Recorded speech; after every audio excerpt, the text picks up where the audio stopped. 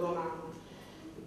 Tuttavia... 2019-2024, la rete ospedaliera. Il nostro progetto è stato il tema del convegno organizzato da Civiche per l'Abruzzo. Le conclusioni sono state tracciate dal candidato presidente Fabrizio Di Stefano, il quale ha esposto un decalogo dei valori fondamentali nella sanità abruzzese.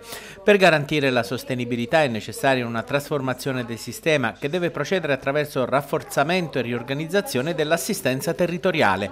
In pratica, secondo Di Stefano, trasferire al domicilio dei pazienti o a strutture strutture prossimità quelle prestazioni che oggi sono erogate impropriamente in ospedale sarebbe una pratica virtuosa che alleggerirebbe la pressione sugli ospedali, migliorando il contesto in cui opera lo stesso personale ospedaliero.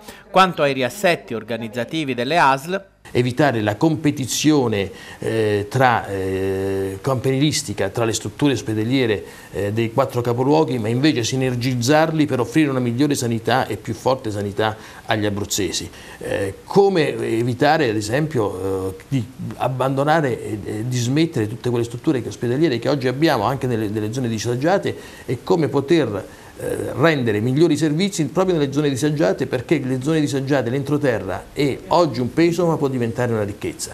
Altro obiettivo è quello di reinterpretare una sanità privata accreditata quale effettivo efficace complemento e risposta alle criticità dell'offerta sanitaria pubblica, con l'obiettivo di ridurre le liste di attesa e soprattutto la mobilità passiva regionale. Particolare considerazione, ha concluso Di Stefano, va data alle opportunità offerte dal project financing in ordine alla ristrutturazione, riqualificazione e rinnovamento della rete ospedaliera regionale.